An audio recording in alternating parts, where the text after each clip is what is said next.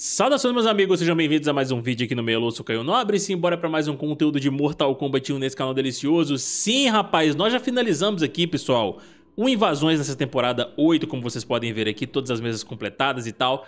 E as áreas bloqueadas também, que a gente consegue pegando o item do Liu Kang Dark Titan ali, quando a gente o vence e tudo mais para poder acessar essas áreas específicas em cada uma dessas mesas. E nesse vídeo eu quero trazer para vocês uma dica bem rápida de onde vocês podem encontrar esse traje diferenciado da nossa querida Frost, né? Já que Cameo Fighters normalmente não tem trajes assim diferentes e tal, já faz um tempo na real que eles não colocam.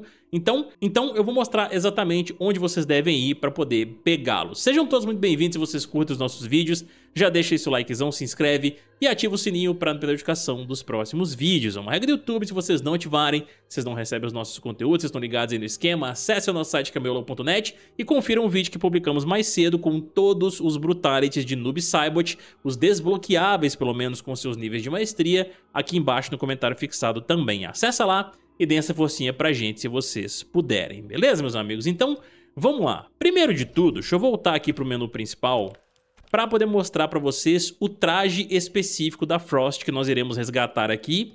Eu sei que ela é uma Cameo Fighter, normalmente não fica aparecendo na tela, só quando a gente chama ela mesmo poder dar uma assistência ali pro personagem principal, mas muitos de vocês aí, acredito eu, né, assim como eu também, curtem skins, eu acho que é bem legal, cara, eu pelo menos curti de ter achado ela aqui, ó, que é justamente essa aparência do personagem. Nós temos essas seis aqui que nós desbloqueamos para ela evoluir nos seus níveis de maestria, e aqui embaixo, ó, nós temos mais duas, que é justamente da Frost sem a máscara, galera, ó.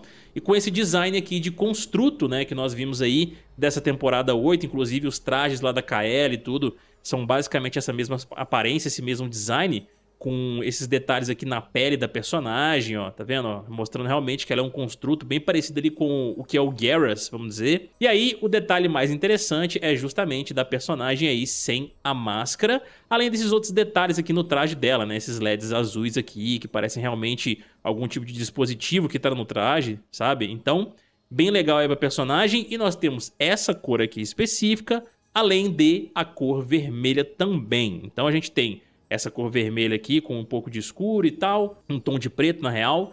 Ah, esses LEDs azuis ali que eu mencionei também, algumas partes do traje dela. Então é isso, meus amigos. Nós desbloqueamos aqui essas duas paletas de cor para o traje tradicional da Frost, tá? Só que a grande diferença aqui é que ela não utiliza a máscara. Os demais aqui ela usa. Então Vamos lá agora voltar para Invasões para poder mostrar para vocês exatamente onde vocês conseguem esse traje aqui. Vamos lá, campanha, invasões novamente, para poder acessar as mesas aqui. Primeiro de tudo, galera, vamos acessar aqui o mapa da muralha, a mesa muralha e tal. Show de bola. Beleza, carregou. E aí, meus amigos, ó, eu vou até abrir aqui um minimapa para poder mostrar para vocês exatamente onde vocês precisam ir.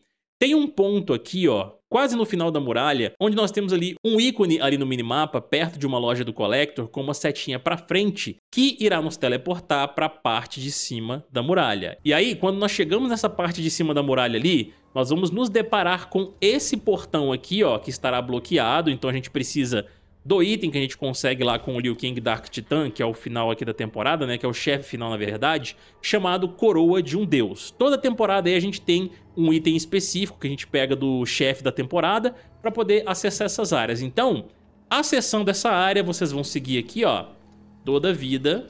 Vou mostrar para vocês. Passando aqui pelas fases. Pode seguir aqui toda a muralha. Algumas fases aqui são opcionais, tá, pessoal? Vocês não precisam necessariamente jogá-las. Eu tava jogando aqui justamente poder coletar experiência e tudo mais para meus personagens. Aí, ó. Vamos dar a volta aqui mais uma vez. Beleza.